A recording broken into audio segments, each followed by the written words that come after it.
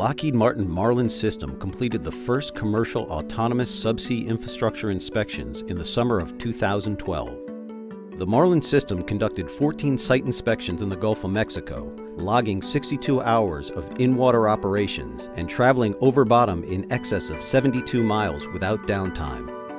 While at sea, the Marlin system generated real-time 3D georeferenced models of platforms and surrounding seabeds using Marlin's onboard sonars. The inspections allowed the operating company to make accurate operating plans for an upcoming subsea recovery operation. Launched from utility-class work vessels, the Marlin system performs inspections with minimum operator involvement thanks to the advanced autonomous intelligence developed by Lockheed Martin engineers. After launch, the Marlin vehicle automatically navigates to the structure and begins a three-dimensional sonar survey. The highly maneuverable Marlin, with its hovering capability, easily works in tight places. As the survey is being conducted, the Marlin system onboard computers automatically detect changes to the structure, alerting the shipboard operator of the affected areas. When the vehicle completes the mission, Marlin is called home and automatically guides itself to an underwater dock suspended from its shipboard launch and recovery system. Once the Marlin system automatically captures the lift line, the crane operator simply and safely lifts the vehicle on board the ship.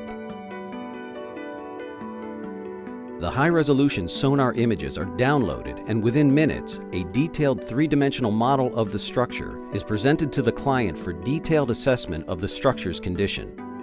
The 3D georegistered models generated by Marlin provide operating companies with a full view of the surrounding structure and the ability to perform metrology of the structures and the seabed. During preliminary decommissioning or salvage surveys, the data collected allows operators to pre-plan for hazards and mitigate risks associated with the structural removal in advance by providing actionable decision-making information and monitoring progress and completeness of the salvage and cleanup.